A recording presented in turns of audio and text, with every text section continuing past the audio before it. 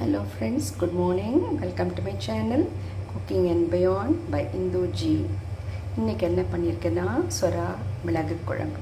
இது உடம்புக்கு ரொம்ப நல்லது. யாருக்கெல்லாம் கோ கோல்டு பிடிச்சிருக்கோ தலைவலியோ உடம்பு வலியோ அவங்கள இந்த மிளகெல்லாம் போட்டு செய்தான்னா ரொம்ப நல்லாயிருக்கும் சளியெல்லாம் விட்டுடும்.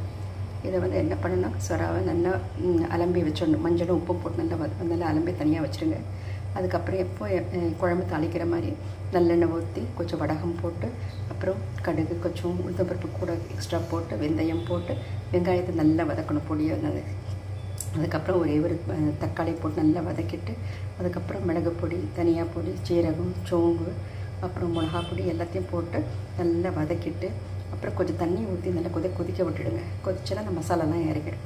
அதுக்கப்புறம் புளியை நல்லா கரைச்சி திக்காக அதில் ஊற்றிட்டு அதுக்கப்புறம் அது கொதிக்க விடுங்க. கொதித்த பிறகு திக்கான பிறகு இந்த சுறாவை நல்லா கழுவி அதை போட்டு கொதிக்க வைக்க வேண்டியது தான் அஞ்சு நிமிஷம். தேங்க்யூ